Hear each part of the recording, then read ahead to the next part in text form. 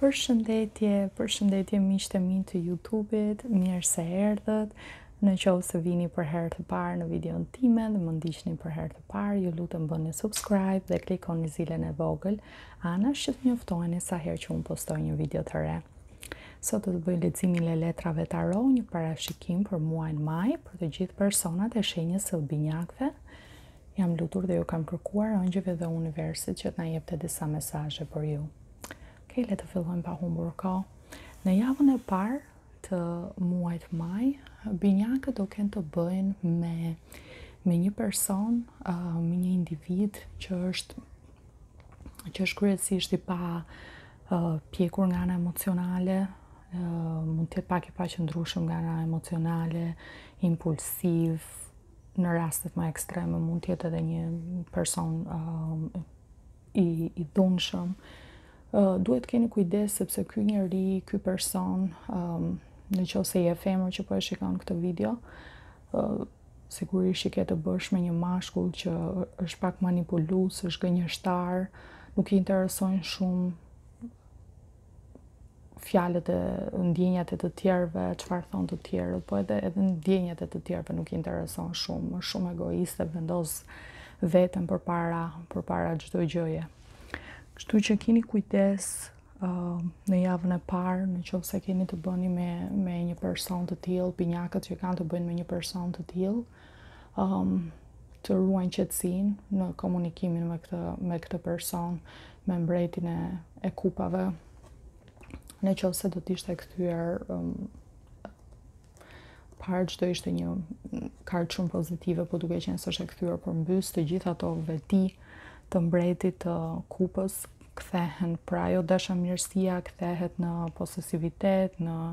njeri që mendon vetëm për vete, që është egoist, që është manipulues, që është gënjeshtar, kështu që kini kujdes me kini kujdes me këtë person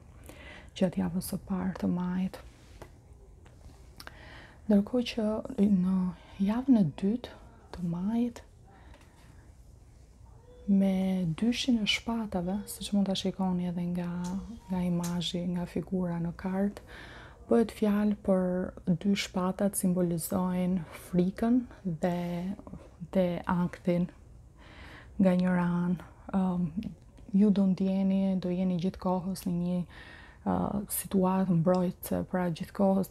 duke mbrojtur veten, do i mbani ndjenjat, emocionet përbrënda, nuk do shpreheni shumë. Uh, po që ajo rezulton në qoftë se mbani shumë gjëra përbrënda, rezulton në shpërthime, në impulsivitet, dhe gjithashtu kjo ka të bëjë edhe me zgjedhje. keni zgjedhje përpara jush që ju nuk po vendosni mos t'i shikoni opsionet, po vendosni të rrini në të njëjtën situatë që jeni, mos shikoni çfarë opsionesh keni, çfarë ndryshimesh mund të bëni në jetën tuaj dhe po vazhdoni me të njëjtën në të njëjtën situatë duke duke mbrojtur, duke ruajtur veten, mos u shprehur shumë, duke duke mbajtur gjërat përbrenda, ë pa marrë asnjë vendim, as majtas, as djathtas, as as këtej as andej jeni në një në një situatë që thjesht po po mundoheni mos t'i acaroni gjakrat, mos ta acaroni situatën, të jeni sa më sa më të qetë gjatë kësaj kohe në debate dhe sidomos në lidhje siç thamë pra me me mbretin e kupave të kthyer përmbys. Kështu që uh, vazhdon Në, në javën e tretë, gjërat përmirësohen në javën e tretë të majit, kemi katrën e shkopinjve. Katra e shkopinjve uh, na flet për familjen, na flet për harmoni në familje, na flet për festime, na flet për uh, shumë nga ju binjakë, ndoshta po mendoni për një shtëpi të re, për t'u shpërngulur, për të lëvizur diku tjetër, për të marrë shtëpi të re me qira ose për të blerë. Um, po mendohen festime, disa nga ju mund të kenë raste që do mblidheni me njerëz të tjerë, do diskutoni, do festoni me njerëz të tjerë në javën në javën e tretë të në javën e tretë të majit, është një kohë që ju më në fund, domethënë mbas argumenteve, debateve, situatave të ndryshme që nuk kanë qenë shumë pozitive në fillim të në fillim të majit, do të vazhdojë në javën e tretë gjërat do të qetësohen, do të do të keni edhe raste për t'u mbledhur me familjen, për të festuar dhe për të pasur një kohë, një kohë të bukur. Kështu që në javën e fundit Të në javën e fundit të majit me këtë letër uh, heremitin e kthyer përmbys mesazhi kryesor është që të dalim nga nga izolimi të dalim nga nga mbyllja në në vetvete, të flasim me me të tjerët, mos të kemi frikë nga njerëzit, mos të kemi frikë nga përgjegjësitë, mos të kemi frikë të komunikojmë dhe të jemi të të të lidhemi me njerëz të tjerë, të dalim, të flasim, të shoqërohemi me persona të tjerë. Mesazhi kryesor, ëm um, Tregon edhe gjithashtu që mund të keni dhe pak tendencën e Peter Panit që do të thotë ju nuk mundoheni mos të të qëndroni në të njëjtën në të njëjtën situatë, ndiheni pak si fëmijë, pak të përgëdhelur, nuk doni të të merrni përgjegjësi, uh, doni të tjerë të marrin përgjegjësi për ju, po ju mundoheni t'i bëni bisht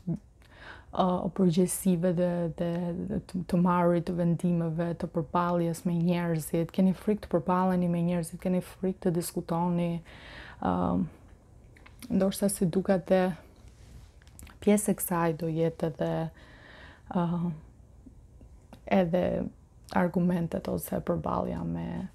me mbretin e kupave në fillim të në fillim të muajit. Pra, mesazhi nga ëngjëjt dhe nga universi për majin është që duhet të dilni, duhet të dilni nga vetvetja, duhet të merrni përsipër përgjegjësi, duhet të bëheni të fortë, të keni atë guximin për të përballur gjërat dhe për të për të mësuar kur nuk për diçka që nuk e dini Mundohuni të merrni informacion, mundohuni të të merrni këshillë nga një person tjetër që ndoshta është më informuar se ju në atë fushë ose që ka më tepër më tepër eksperiencë. Këto janë këshillat. Kërkoni, kërkoni ndihmë, kërkoni Kërkoni ndihmë, kërkoni këshilla, kërkoni uh, miqësi nga njerëz të tjerë, shoqërohuni me njerëz të tjerë, dilni, mos rrini mbyllur në në vetvete javën e fundit të majit. Gjithashtu kam shtuar për të na dhënë një një ide um, si një kryefjalë, të themi për për çdo për çdo muaj, për majin, orakulli, kemi orakullin e, e shërimit dhe kryefjala për muajin maj, për binjakët që janë dhe karta shumë të bukra, letra me të vërtetë shumë të bukra, um, është breathe ose merr frymë.